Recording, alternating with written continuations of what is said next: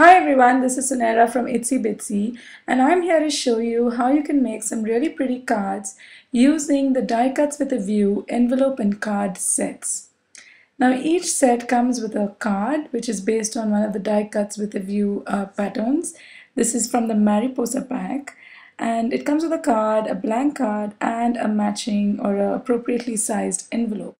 So if you want to make a card real quick, all you got to do is start with one of these um, cards and then add your little embellishments and decorations to make it more you. So for the project that I'm going to do right now, I'm going to use this particular card. I'm going to set the envelope aside and then I'm going to make use of the Itsy Bitsy foam punch. Um, I, it's, a, it's a really versatile product because it cuts, it punches through foam and cardstock really easily. So I'm using it now to punch a little bit of uh, little bit through the glitter foam sheet that I've got from Itsy Bitsy. I want some nice black small little butterflies to decorate this card. It's um, really easy to do. You just punch and take out the butterfly and you're set. And once you're done, you know, um, you can also use it to cut cardstock, but at the moment I'm just using it to cut foam. I'm going to take a black ribbon, a cross grain ribbon again from Itsy Bitsy and I don't have too much in it. So what I'm going to do is instead of tying a bow, I'm going to tie a knot. Now it's always easier to tie these things if you adhere the ribbon in place. If, um, if the ribbon is moving around um, and the you know the bow is difficult and you know everything is going to be a big mess. So what I always do is I adhere the ribbon exactly where I want it. I place it in you know where I want it and then I ensure that the ribbon is stuck so that it's not going to move around and I can peacefully tie the little knot. Um, so I'm pretty much done with that. And then I'm going to take all those little butterflies that I made just after I trim this ribbon I'm to take all those little butterflies that I made and um, maybe arrange them around this card. But I think they need a little more oomph. So to do that I'm to create a little body for each of the butterflies. I'm using my glue gun combined with some itsy bitsy glitter stones. Now these are really convenient. They, they come in a, a bunch of different colors and sizes and with a little bit of glue and a tweezer you can easily work with them.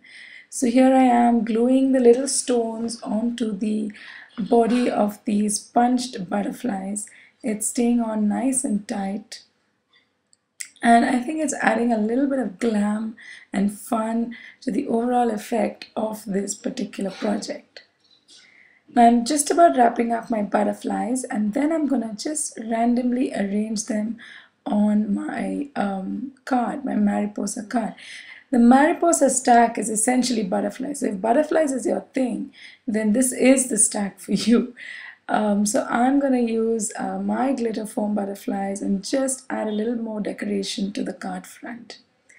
Now I feel we too often neglect the inside of a card and so fortunately I've got some red glitter foam and I'm adding the same uh, dazzle body to the, the same color body to it.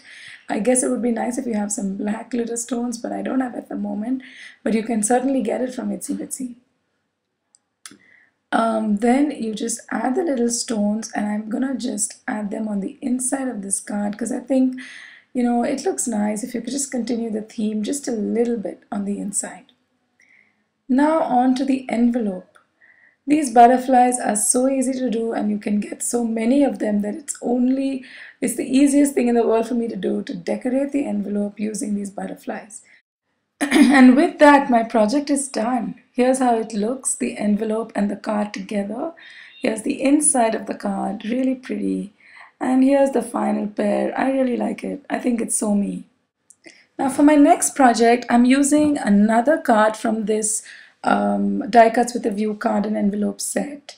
And uh, it's a very neutral background. Um, it really would go with anything. So I'm gonna add a splash of pink. And to do that I'm gonna use some ribbon um, some eyelets and um, some nice little stickers. Itsy Bitsy's got the cutest range of stickers so I'm gonna try using that. And maybe some glitter stones too Now, the first thing I'm going to do is uh, punch out some eyelets at the base of this card. Now, most of us use eyelets only um, for, you know, paper bags or for, you know, for the strap of paper bags or for, um, you know, card scrapbooking projects or mini albums. But you can actually, you know, make some really cute cards using eyelets. Um, I'm using the We R Memory Keepers eyelet set and I'm using my eyelet punch to just punch the eyelet through the paper. Um, I think it looks really cute because you know you, you get a kind of a interactive element to your card and I'm just going to punch a little border of these eyelets all over the bottom of this card. So what you saw me doing earlier was measuring where I wanted to punch it and then uh, punch it exactly there. So I've got a few extra holes. I'm not going to punch so many, but I'm just using them as a guide to figure out how I want to make this eyelet border at the bottom of my card. The eyelet punch is also available at Itsy Bitsy. Um, it's a really convenient thing to have because you can put eyelets in literally anything. Um, you can put them in your shoes, you can put them in your jeans. Um, I like to put them in albums and now you can see I'm putting them in um, cards. So it's pretty versatile and pretty cute. Now right where my eyelets have formed a border at the bottom, I'm just using my pencil to mark a little spot at the inside of the card and I'm going to use these glitter stones from or these rhinestones from Itsy Bitsy to create a mirroring border on the inside of the card. So um, I, I can either use my glue gun but I also find it very uh, convenient with these kind of stones to use the itsy bitsy glitter, uh, sorry, glue dots. Um, they're really easy to use and things like stones and stuff um, really are much neater and more convenient if you use the uh, glue dots that um, Itsy Bitsy has. So I finished the inside of my card making that little border at the bottom and now I'm taking it a step further and taking these stones up um, two rows above my eyelet border and I'm using a scale uh, along with my cutting mat to make sure that the I'm sticking the stones in a straight line. Um, these kind of things, you know, you want to get it right the first time. So by taking a little bit of care, uh, you will ensure that you have a neat and clean project at the end of the day. Now, of course, no project of mine is complete without a ribbon and a bow, so I'm using some more cross grain ribbon from Itsy Bitsy and I'm gonna just tie a lush big bow. Fortunately I have enough ribbon available so I can tie a nice lush fluffy bow right at the top. Um, this is how I do it. If you um, I have done a tutorial uh, showing exactly how I tie a bow so you might want to catch that if you want to see it in slow motion. Um, that's pretty much my bow. I'm now gonna just trim off the excess ribbon after making sure my bow is as tight as it can be. And uh, once that's done, I decided I don't want the bow in the center. I want it a little bit off center because I want to add this cute little itsy bitsy pink elephant at the top of the card. I just love it and I think it's going to look super cute. It does come with an adhesive, but I just wanted to add a little bit of glue on it myself to make sure it stays exactly in place. So that pretty much does it for the card. I think it's looking really cute. Now I'm going to move on to the envelope and start embellishing it.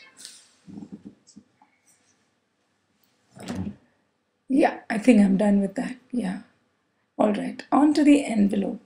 Now for the envelope, I'm going to use the same glitter, uh, glue dots and the glitter stones, the pink glitter stones, and create just a small border on the on the front or back of the envelope. I don't know. I think this is the back of the envelope, but my mother always says it's the front. Whatever. I think it's the back. I'm putting these stones at the back of the envelope. And on the front, I'm on the flap. I'm going to just punch out three eyelets to go with the whole eyelet theme of my card. And with that, I finished decorating my uh, envelope. It was really quick to do. And that's the final look at my project. Isn't it cute? A little pink elephant card. Here's a look at all the details. Here's a close-up of that eyelet envelope flap. And here's a look at both the cards together. and um, I think it looks pretty nice. So with that I've come to the end of another tutorial. Do, do stop by our blog, the Itsy Bitsy blog to find out more about where I got these particular items and how to buy them yourself. And stay tuned to many more tutorials from all of us here at Itsy Bitsy. Bye!